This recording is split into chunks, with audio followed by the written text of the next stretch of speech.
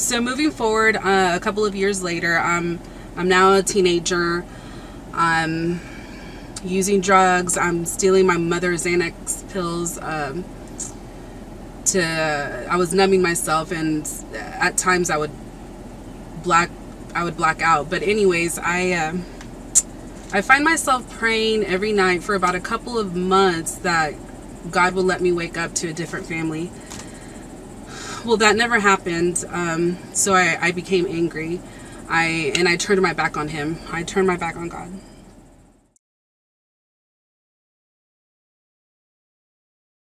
I was really young when I got introduced to Jesus. I was probably around I was in kindergarten or, in the first grade, so I was like five or six years old.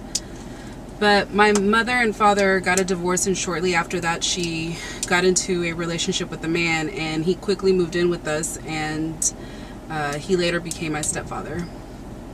But this man introduced our family to the Pentecostal church and to churches that are in the charismatic realm.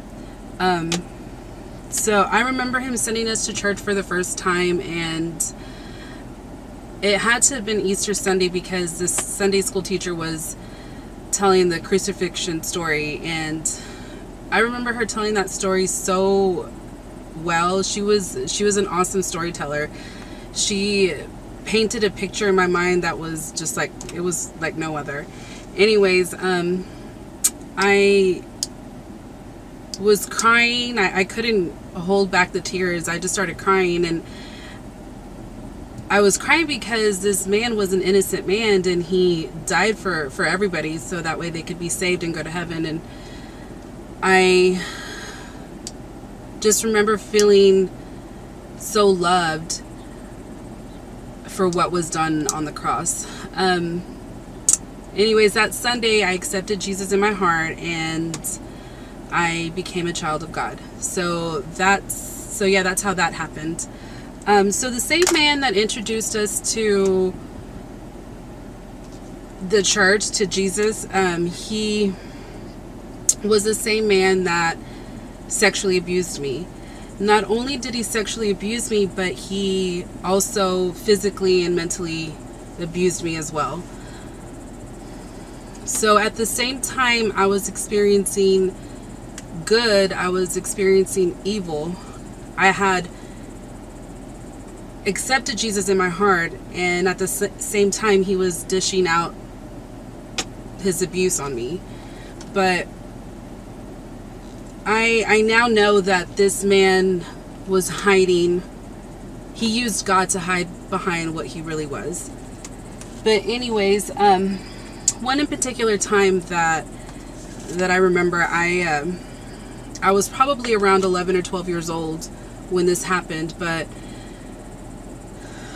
I was being forced to do something sexually and I had a vision of Jesus being up on that he's he was up on the on the cross and he was looking at me. And it was it only lasted about a couple of seconds but it was it was very vivid. Um I was young and I didn't know why I had that vision while sin was going on. I thought it was I thought it was bizarre. But now looking back, I, I know that he was letting me know that he, he he was embracing me. He was letting me know that he was right there during a very dark moment and through that vision, I now know that I in fact did go through his mind while he was up on that cross. But um so moving forward, uh, a couple of years later, I'm I'm now a teenager. I'm using drugs. I'm stealing my mother's Xanax pills. Um, to I was numbing myself, and at times I would black I would black out. But anyways, I uh, I find myself praying every night for about a couple of months that God will let me wake up to a different family. Well, that never happened. Um, so I, I became angry. I and I turned my back on Him. I turned my back on God.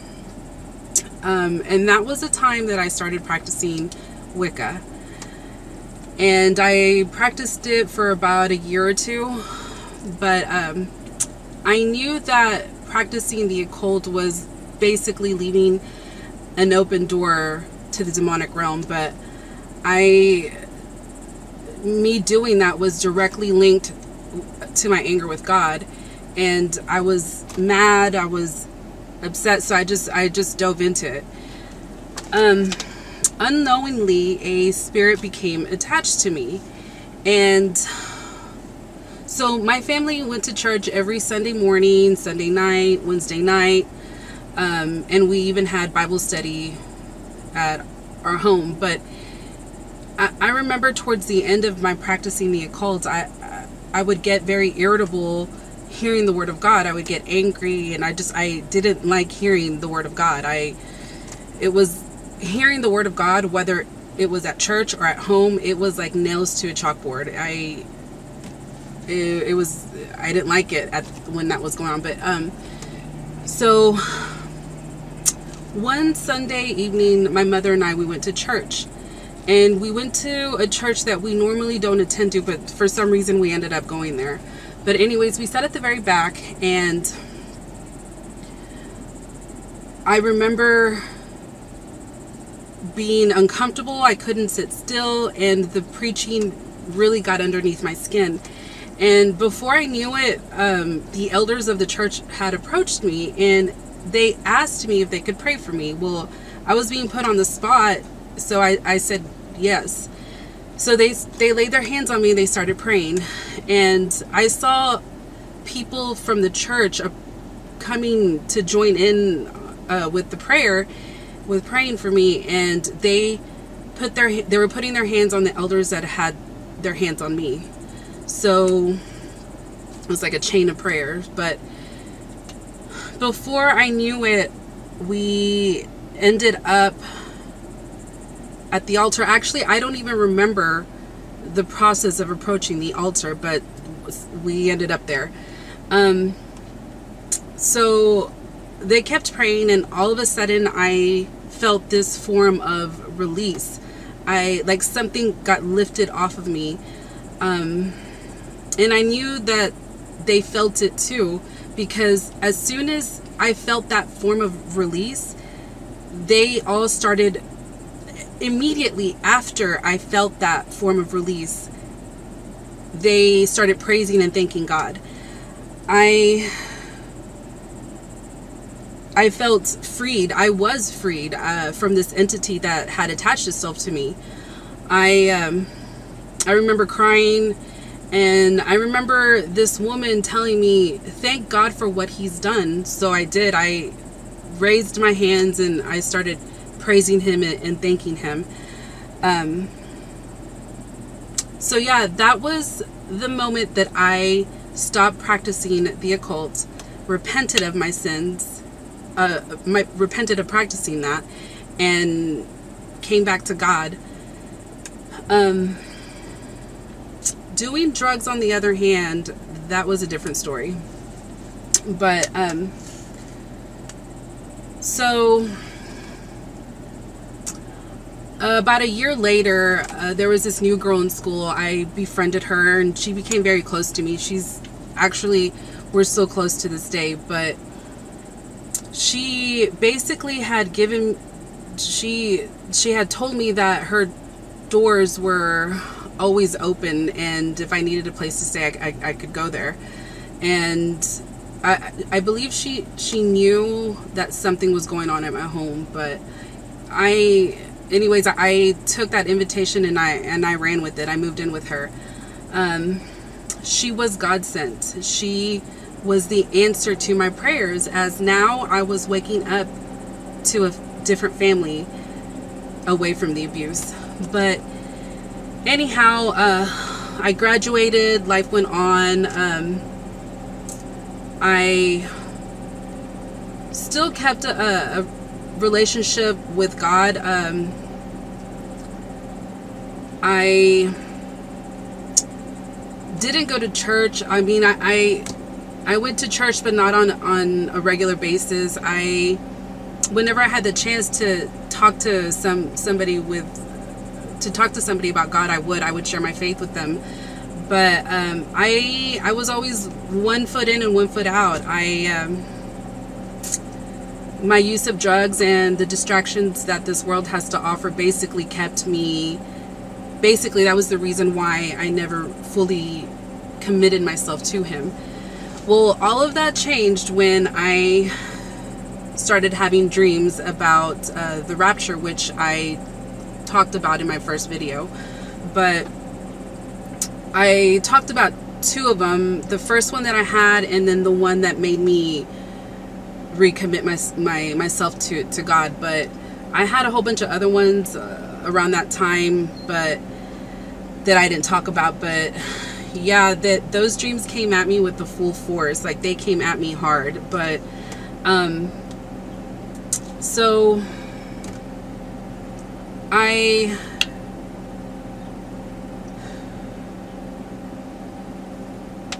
I basically I had to make that decision to wake up. I mean, I, I woke up and, and and no more one foot in and, and one foot out. I was all in. I am all in. But so now there may be some of you that have been abused, that was abused as a child. There might be some of you that have practiced the occult or was exposed to it at, at some point in your life and there might be some people right now that are under the influence of drugs or or alcohol while watching this video. But I want every single person to know that you are loved no matter what you've gone through, no matter what you've done, no matter what has happened in your life, no matter how dark it's been in your life, no matter how blemished it's been, there is a God and, and He loves you. And I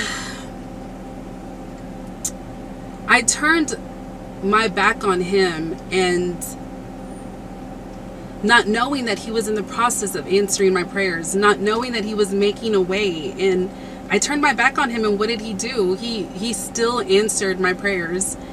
He is a God that hears our cries and and answers prayers.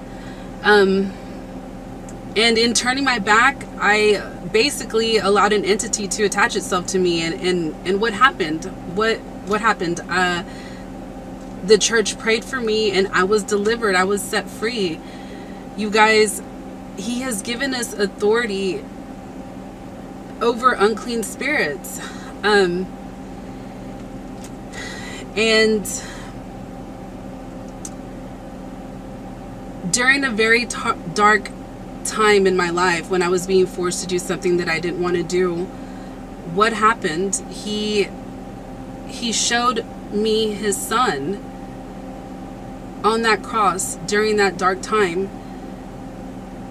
He was showing me how much he loved me. For God so loved the world, right? You know, you hear a lot of preachers say, they say, Jesus thought about you when he was up on that cross. But that statement, my friends, I know it to be true, and you should too. Um,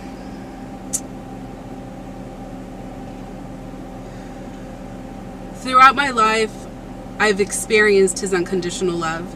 Throughout my life, I've experienced His faithfulness.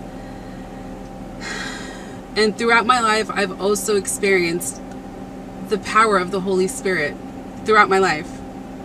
And I am a living testimony to that. Um, if you feel that my testimony can benefit others, please share it. Um, I left a little poem in the description box. Um, I love you guys. God bless.